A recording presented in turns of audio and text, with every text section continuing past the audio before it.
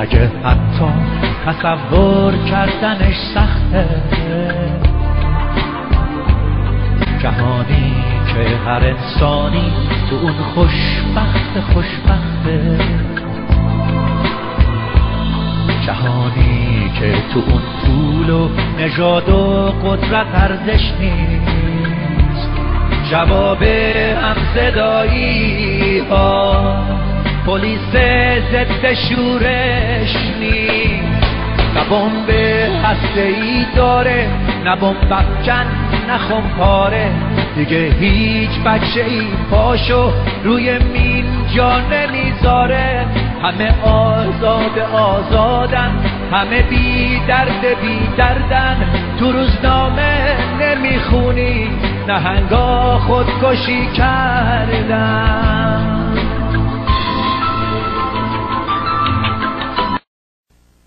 با سلام و درود خدمت هموطنان عزیزم. شهره آسمی هستم و برنامه دیگری رو از تلویزیون ایران ما تقدیم حضورتون می‌کنم. امروز جمعه 18 ماه مارچ برابر با 27 ماه اسفند هست. در خدمت آقای دکتر آرام حسامی استاد علوم سیاسی و فلسفه در مونتگومری کالج هستم. اول یک سلامی خدمتشون هستم سلام آقای درود و سلام به شما بینندگان. تشکر می‌کنم. اجازه بدید من از دیروز شروع کردم چون دوستان الان یه دو سه هفته یه عید به هم تبریک بگن من دیدم دیگه خیلی زیادی میشه هر روز. بله. ولی دیروز به بینندگان عزیز عید رو تبریک گفتم. امروزم که آخرین روزه که فرصت داریم چون تلویزیون دوش فردا و پس فردا برنامه نداره.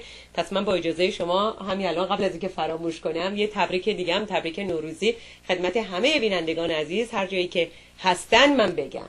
بله منم همینجور خیلی ممنون. عید شما مبارک امیدوارم سال خوبی پیش رو داشته باشیم به هر حال می‌دونم که سال پرتلاطمی بود آرزوها آمالها و خواسته ها امیدوارم که به حال صدای مردم ایران رو همه دنیا بشنون و سال پیروزی واسه ما باشه. مرسی. من روی صفحه فیسبوک هم گاهی وقتی یه چیزایی می نویسم بعد نوشتم که از اونجایی که ما ایرانیا عادتمونه. خود من روز بشم نه دیگران. همیشه تقصیر رو گردن یکی دیگه میندازیم. بله. ما تمام تقصیرها رو گردن سال بدبخت 1389 انداختیم. که همه تقصیر 89 بله بله. تقصیر 89 انداختیم. حالا یه دو روز فرصت دارین خلص اگه بخواین از دلش در بیارین. چون داره میره و دیگه هم نیستش بله. حالا قبل از اینکه به مسائل جدی بپردازیم که این برنامه همیشه به صلاح بسیار جدی هست اول من از شما سوال کنم برای هفسین و کارهای نوروزی شما کارهای انجام دادین ندادین والا ما تقسیم کار کردیم. دوستان من خوش سلیقن اون کارا رو واسه ما انجام میدن و دعوت می‌کنن و محبت می‌کنن. سفرتون هم درست می‌کنن بله. و... ولی بنده خودم فقط تنها عملی که برادم حرف زدن خانم قاسمی خب دیگه شما کار و حرفتون هم این هستش که راجع به مسائل سیاسی صحبت کنید آقای حسامی می‌دونم که شما سفری در داشتین بله. و دو تا سه تا سخنرانی انجام دادین بله. می‌خوام ازتون خواهش کنم اگر میشه بفرمایین که کجاها رفتین کجاها شما رو دعوت کرده بودن و سخنرانیاتون به اصطلاح تحت چه عناوینی بود و محتواشو خیلی کوتاه می‌دونم که خیلی سخته شما بخواین سخنرانی طولانی رو خیلی بله. کوتاه بگین ولی در حد این برنامه اگر بگین که راجبه چه چیزایی صحبت کردید ممنون میشه بله ارزم بزرگتون که من به دعوت NID NID Non Initiative Non Violent Initiative for Democracy از باستون دعوت شده بود از من در یونیورسیته دانشگاه باستون. این گروه ایرانی هستن بله ایرانی هستن؟ بله بله یک گروه ایرانی هستند به حال یک هیئت امنایی داره که انجام میدن. این کار رو هر دو هفته یک برنامه دارن از اساتید متفاوت دعوت می‌کنن. بیان جمعه و شنبه سخنرانی است راجع به مسائل متفاوت. دو تا دو ساعت. بنده اولینش بودم.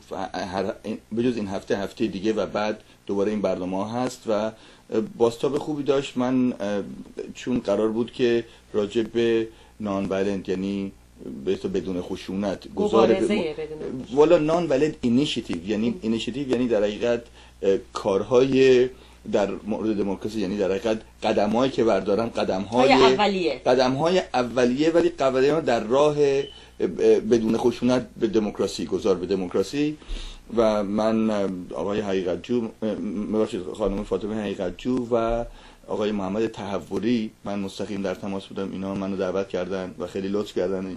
مهمون اینها بودیم خیلی استفاده کردیم و من چون موضوع صحبتم روز جمعه هفته گذشته راجع به ساختار قدرت در دنیای پست مدرن بود. و در... موضوع جالبی هم هست. بله خیلی. و بعد من چون هفته به روز زن بود در دنیا اینو استفاده کردم که قسمت آخرش رو ساختارش قدرت رو در ایران در مورد مسائل زنها پیاده کردم.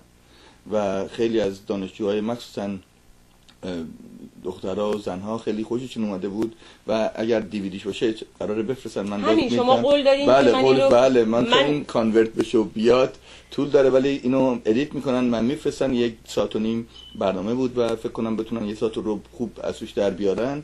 خدمتتون میفرستم. این صحبت موضوع جمعه بود. شنبه بعد از ظهر من راجع به حریم شخصی و حریم عمومی صحبت کردم و مسائلی که چجوری این در دنیای غرب و مخصوصا در آمریکا این پیاده میشه و از نظر قانونی این حریم چجوری بایستی تعریف بشه. اگر اینو بتونیم تعریف کنیم شاید بعضی از مسائلی که ما راجع به مثلا سکولاریسم راجع به هجاب راجع به مسئله آزادی بیان صحبت می‌کنیم حل بشه. و من با یک نمونه های حقوقی اینو شکافتم از نظر سیاسی و از نظر فلسفی که چجوری به عنوان پالیسی یعنی در حقیقت چجوری ما می‌تونیم عملا این حریم شخصی و حریم عمومی رو خصوصی و عمومی رو تعریف کنیم که به تناقض های نرسیم. بعد وظیفه دولت وقتی میگیم به تناقض های نرسیم چه نوع تناقض های منظورتونه؟ ببینین من یه نمونه واردش میگم. فکر کنین مثلا کمربند بستن توی ماشین. آیا اینی که دولت شما رو مجبور کنه کمربندتون رو تو ماشین ببندین این وارد حوزه شخصی یا حریم شخصی شما شده یا نه؟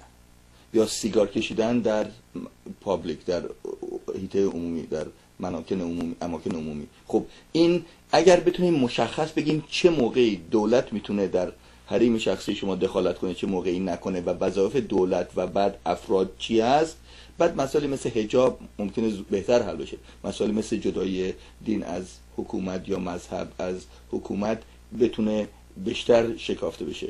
این در حقیقت می‌تونه یک راهکاری باشه راجع به که اگه حوزه رو مشخص کنیم حریم مشخص بشه شاید بتونیم به نتایج بهتری برسیم. من صحبتم راجع به خب من می‌دونم که شما قول دادین تا این به اصطلاح ویدیو به دست ما برسه. بله. به هر صورت یک چند روزی طول می‌کشه.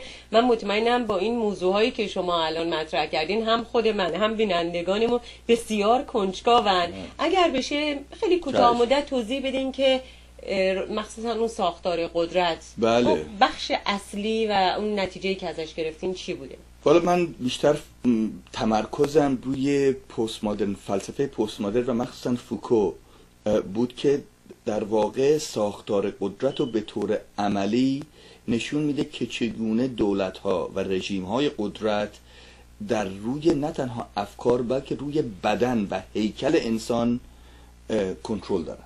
و چجوری این کنترل انجام میشه.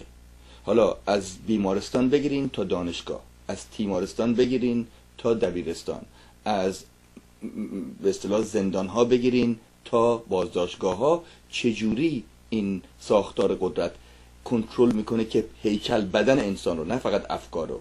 و بعد چگونه این به یک مدلی تبدیل میشه که نهایتا خود انسان پاسدار خودش میشه؟